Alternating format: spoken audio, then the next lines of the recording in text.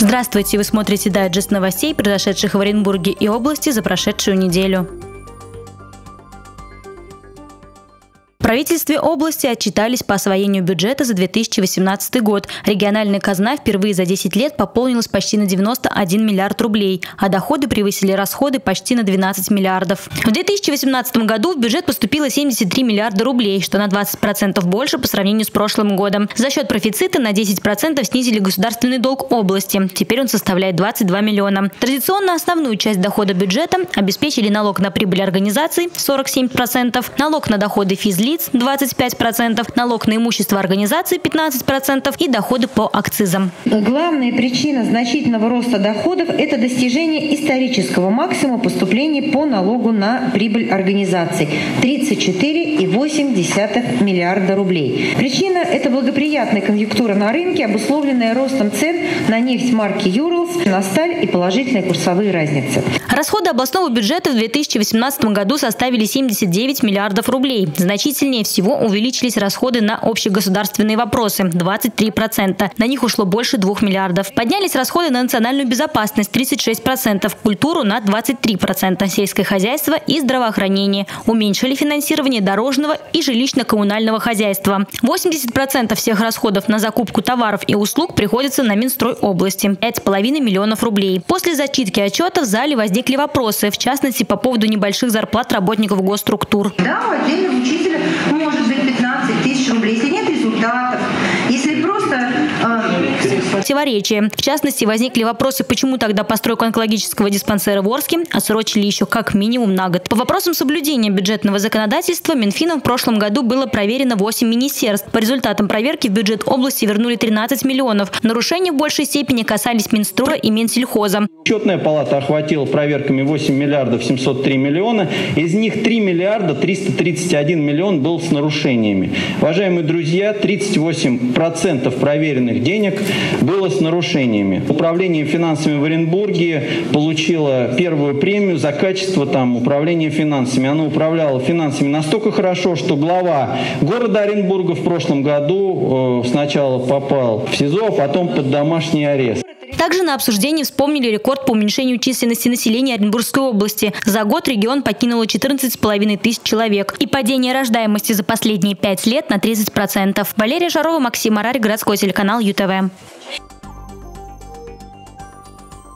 Первое заседание по делу Геннадия Борисова состоится 18 июня. Такое решение приняли в Ленинском районном суде. Также суд вновь избрал меры пресечения для экс-мэра и его заместителя. Следствие по делу Геннадия Борисова завершено и передано на рассмотрение в суд. Напомним, бывший заместитель Евгения Арапова обвиняется в покровительстве и получении взятки группы лиц по предварительному сговору в крупном размере. 8 июня Ленинский районный суд продлил Геннадию Борисову домашний арест до 27 августа. Отметим, что экс-заместитель мэра Оренбурга активно сотрудничал со следствием и признал вину. В том же суде параллельно с заседанием по делу Борисова избрали меру пресечения и Евгению Арапову. Продлить обвиняемому Арапову Евгению Сергеевичу срок домашнего ареста на один месяц, а всего до 10 месяцев 24 суток, то есть до 8 июля 2019 года с сохранением ранее установленных судом запретов ограничений.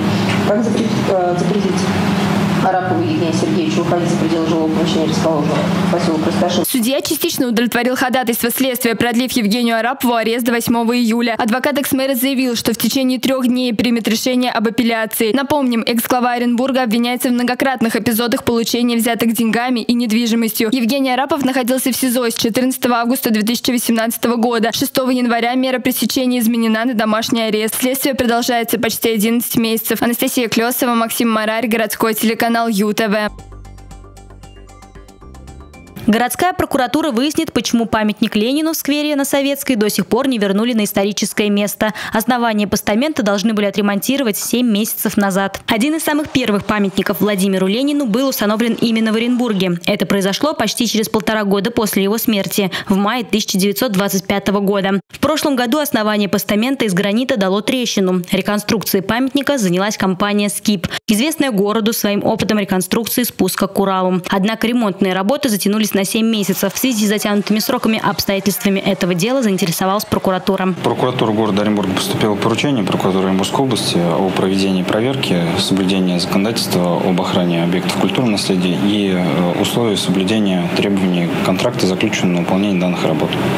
В настоящее время проводится проверка, устанавливаются ответственные лица, сроки и условия исполнения данного контракта. Более подробно, полностью информация будет представлена к 10 июня. Долгую реконструкцию подрядчик объясняет отсутствием полагающегося финансирования. Для восстановления постамента необходимо 183 тысячи рублей. Поскольку монумент состоит в реестре памятников федерального значения, средства закладываются из соответствующего бюджета. 21 января, в День памяти, был осуществлен сбор подписей. И у нас вот только за один день, за несколько часов проведения а, этой акции собрано более 450 подписей граждан. На основании этого мы обратились в соответствующие инстанции, получили ответы о том, что памятник будет восстановлен в декабре 2020 года. В апреле на ограждении появился баннер с изображением памятника и исторической справкой. В тексте присутствуют орфографические, арифметические и исторические ошибки. Инициатором установки такого баннера было Министерство культуры. Собственник объекта – Росимущество. Сейчас 600-килограммовая бронзовая скульптура Ленина хранится в деревянной коробке на территории караван-сарая. Валерия Шарова, Олег Николаев, городской телеканал ЮТВ. Оренбургская область вошла в список самых грязных регионов России. Экологический рейтинг опубликовала общественная организация «Зеленый патруль». По данным организации «Зеленый патруль» за весенний период Оренбургская область заняла 81-ю строчку. Главные экологические проблемы – загрязнение воздуха, выбросы сероводорода, несанкционированные свалки и работа региональных операторов по вывозу мусора. Мы узнали у горожан, замечают ли они ухудшение экологической ситуации в регионе. У нас много заводов, таких фабрик, которые пагубно влияют на нашу окружающую окружающую среду. Мусор выкидываем и вообще загрязняем. Я бы не сказал, что он сильно загрязненный. Очень жаль, что она загрязняется. Виноваты все. И мы сами в том числе. И плюс наше государство. У себя в Перми замечаю больше загрязненность, чем у вас. Я живу возле Урала, и у меня там дико воняет канализация. Я ничего больше не могу сказать, потому что у меня возле дома прям находится такая огромная выгребная яма и огромная-огромная труба, откуда льется, я не знаю что, и очень сильно воняет, и вода грязная. Загазованность, да, бывает часто. На Чкалове живу. И там бывает, вот когда выброс где-то, наверное, за, за городом, и у нас бывает, что прям вздыхаемся. Напомним, Оренбургская область не первый раз находится в экологических двоечниках. Некоторые обвиняли организацию «Зеленый патруль» в необъективности составления рейтинга. В первую очередь, и прямые обращения граждан к нам. Это ответы госорганов, это информация из региональных э, СМИ. Мы принимаем жалобы, перепроверяя их, мы принимаем информацию ежеквартально. Нам все субъекты представляют свою информацию, которую они считают необходимо, чтобы она в этом рейтинге была. Данные об экологии всех регионов можно посмотреть на сайте общественной организации «Зеленый патруль». Выбрав Оренбургскую область, можно узнать о событиях, которые оказали на экологическую ситуацию региона негативное или позитивное влияние.